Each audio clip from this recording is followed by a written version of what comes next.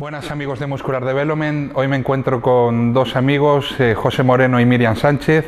No necesitan presentación, son muy conocidos en el panorama nacional y nos van a presentar eh, su nuevo equipo de competición y personas que buscan asesoramiento y un estilo de vida saludable llamado Samore y están aquí para darnos eh, pues todas las noticias de cara al 2014 de competición de Miriam y como asesoramiento de José Moreno a todos sus clientes. No os lo perdáis.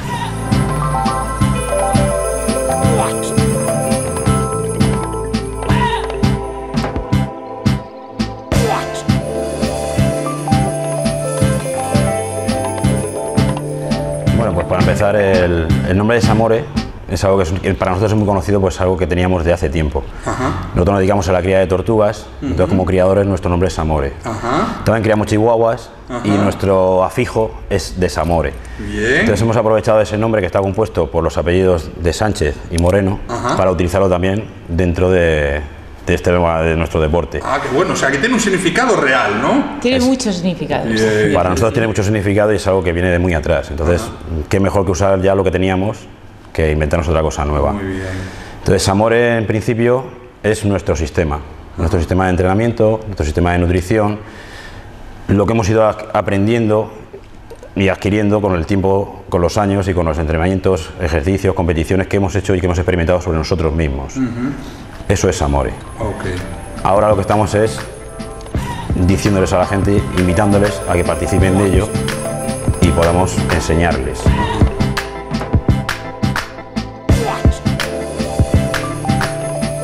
Función en, en- en el equipo, en el equipo Samore, José es el que, se, el que lleva la alimentación la nutrición de los culturistas de los chicos, a unas chicas también más especiales y yo me dedico al entrenamiento de las chicas y, y su nutrición también.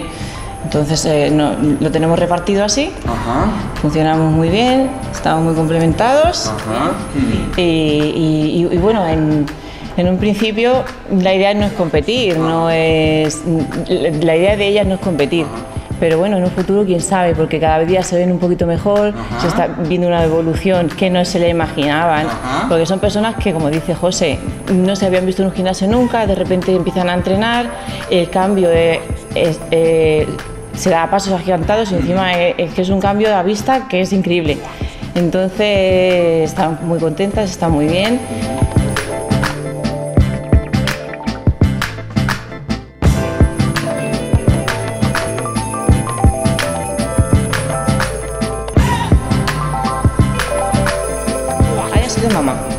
Tenido sobrepeso, no hayas entrenado nunca, hayas empezado a entrenar con 40 años, da No igual. tiene edad esto, ¿a da no? igual. Eh, lo bueno de este deporte es que no tiene edad.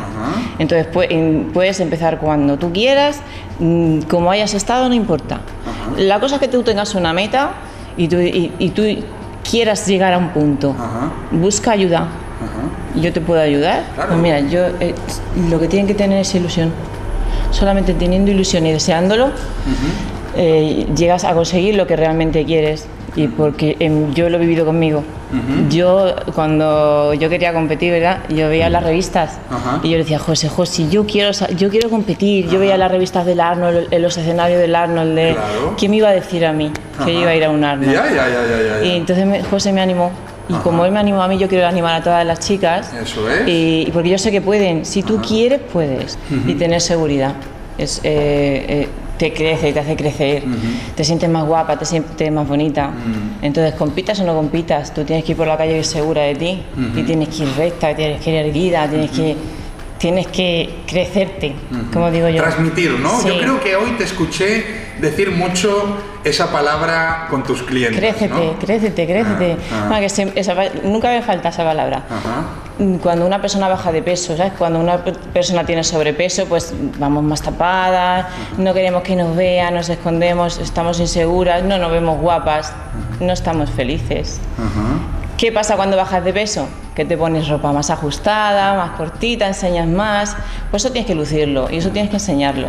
Entonces nosotros lo que hacemos siempre es nos ponemos al espejo y posamos, enseñamos a corregir las posturas, mm, que nos buscamos los mejores perfiles. Para mí lo mejor que hay es un espejo. Pero no porque te guste, es porque aprendes a corregirte. Te ves más guapa, te ves más bonita y te ves más feliz.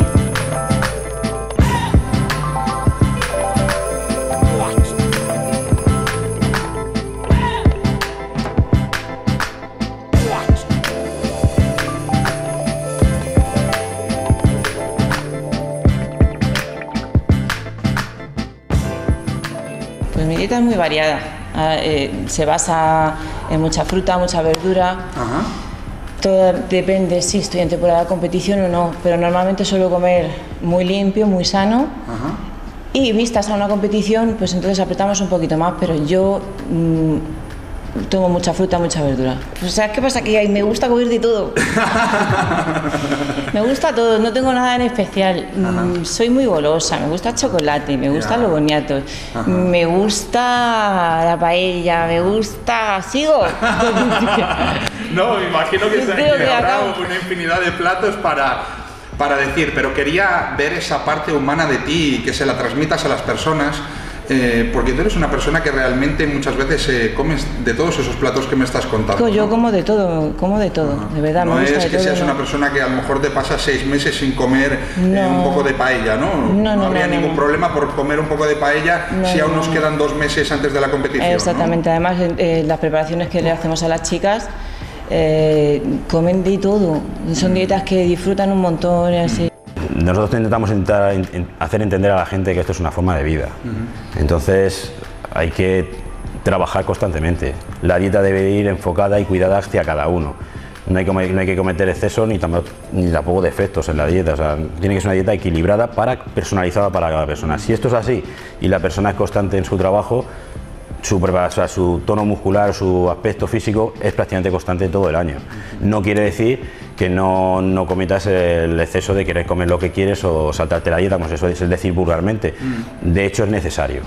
Nosotros en nuestras preparaciones a todo el mundo les indicamos que tienen que hacerlo en un momento determinado cuando nosotros lo ponemos. En su caso, ella lleva una alimentación bastante sana, bastante equilibrada respecto a lo que entrena, respecto a su desgaste, desgaste calórico, calórico diario, y es lo que le hace mantener ese aspecto pero todos los fines de semana, por así decirlo, cada vez tiene 24 o 48 horas libres en las cuales disfruta de comer lo que le apetece, lo que realmente le llama la atención.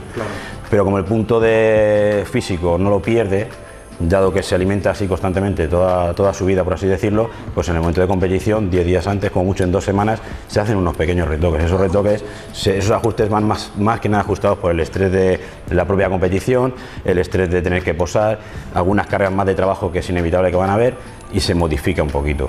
Pero esas modificaciones son mínimas. Hay veces que hay que modificar más en vistas a un vuelo, por así decirlo, para saber la carga de cansancio que va a tener ese competidor, ese atleta, que, los, lo- que el trabajo alimenticio hay que hacer durante, 15 durante un mes antes. Nosotros trabajamos de esa manera, pero porque el trabajo es constante y está hecho durante todo el año. Hay, que- hay que tener muy claro que mm, lo que estamos haciendo es porque nos gusta, no es una obligación, es una cosa que lo hacemos con gusto y con pasión. Entonces es una cosa que tienes que hacer todos los días. No es un capricho de dos semanas, de tres meses para competir y luego se me olvida. No, si empiezas una cosa tienes que seguirla. Y si quieres llegar a ser profesional, tienes que cumplir una serie de requisitos y de normas que tú te tienes que exigir. No puedes coger y, y- y decir, hoy sí, mañana no, hoy sí, mañana no. No. Eres profesional desde que te acuestas hasta que te levantas. Y así siempre, así llegarás a donde tú quieras, conseguirás todas tus metas, pero igual con esto, con todo. Es así, así tienes que comportarte siempre. Y yo lo que yo sí aconsejo, si tú deseas algo de corazón, no lo dejes. Tienes que conseguirlo. Porque tú, tú no sabes, tú tienes que mm, demostrarte a ti mismo hasta dónde eres capaz de llegar. Y puedes llegar lejísimos hasta donde quieras. Yo tengo la prueba en mí. Y lo que me queda, que todavía no he llegado a ningún sitio para mí. Bien. José, ¿qué nos aportas? Bueno, pues como dice Miriam, esto es una carrera de fondo. Y como es una carrera de fondo es algo que se debe hacer con gusto y durante mucho tiempo. Yo a toda esta gente que quiere competir o que está empezando o que ya son competidores, el mayor consejo que les doy es que siempre se intenten buscar un buen asesoramiento. Por suerte, no hace falta irse muy lejos, en España tenemos grandes as- personas que pueden asesorar y es muy sencillo, solamente hay que ver su trabajo, sus resultados en años, en tiempo, para poder dirigirse a ellos. Estas cosas son cosas que se aprenden con el tiempo, con la experiencia. Entonces, yo desde aquí, pues, animo a la gente que si tienes claro lo que quieres, si quieres acortar el camino, dirígete a buenos profesionales.